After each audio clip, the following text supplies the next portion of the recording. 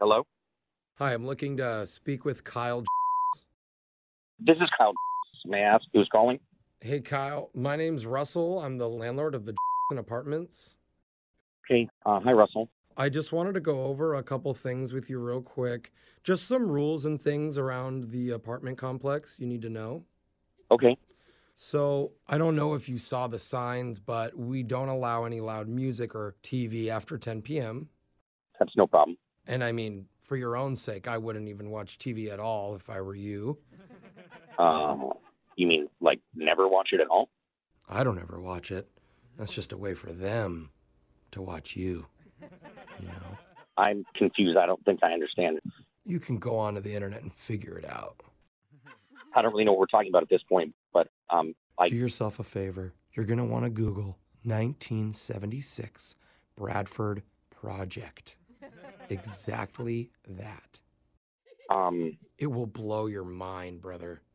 okay, yeah, maybe I'll check that out. You I, hear all the people complaining about smartphones and Siri all listening in, right? Dude, they don't even know the tip of the iceberg, man. um, Bradford, he knew. Probably too much, dude. And guess what happened? He disappeared, brother. And no one's seen him since. this is weird, man. I'm not gonna lie. Um, yeah, real weird. I don't really like read about all that conspiracy kind of stuff. I don't really. That's what they want you to do, not read. You think the government likes you reading? Um, We need to take this combo offline. Just leave me a note on my door in invisible ink and I'll respond. Probably back in invisible ink. but what does this have to do with me moving in and stuff? I'm confused. Maybe it has nothing to do with it. Or maybe it's everything.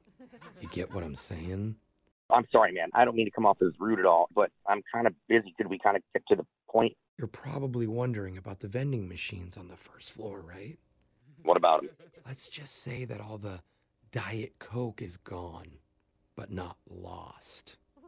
You picking up what I'm putting down? I feel like I might be opening up Pandora's box a little bit here, but why would there be no diet soda in there? You haven't read the latest Helsinki report yet, have you? I'm confused. The only thing that's known to hurt the lizard people is Diet Coke. Um, Mind blowing. did you just say lizard people? Shh, shh, shh, dude, Jesus. Damn, don't just yell it. I whispered for a reason. This is weird, man. I'm not gonna lie. Um, yeah, real weird. No offense, but I, I don't want to know anything else, especially about the Diet Coke. Okay, fine. We don't have to talk about that, but just know if the lizard people come, dude, I bought all the Diet Coke. I got your back if shit goes down. I don't want you to have my back. I just want to move into my place without crazy going on around me. All right? Oh, I get what you're saying. You. No, no, I don't think you do get what I'm saying, dude. Yeah. I just want to move in and be done with this. Hey, dude, you're right. I don't feel comfortable talking on the phone about this either. In 10 or 15 minutes, I'm going to knock six times on your door. You No, no, no, no, no, no, no, no, Seven no. times? no, no time. Eight times? Listen, man, I'm hanging up. Don't come by my place. We're done. Are you sure? Because I'm here with your brother Johnny, dude. He knows all about the lizard people too, bro. What is We're going to come save you. Johnny? I'm sorry, man. Johnny's the one who set you up for this prank phone call, bro. I am not your landlord. Oh my God! Wait, hold on. Wait a second. Wait a second. My name's actually Jose. I'm from the radio show Brooke and Jeffrey in the morning. We're doing a phone tap on you. Dude, I was about to go put on a tinfoil helmet, man. You were weirding me out.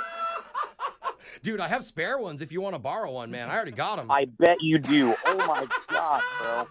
Yeah, Johnny said you were moving to a new place and he was helping you move. He wanted to mess with you, bro. Is Johnny there right now? If Oh. he's listening, I'm gonna get you, bro. Oh, no, he was here in studio, but the lizard people came and took him. I tried to warn you.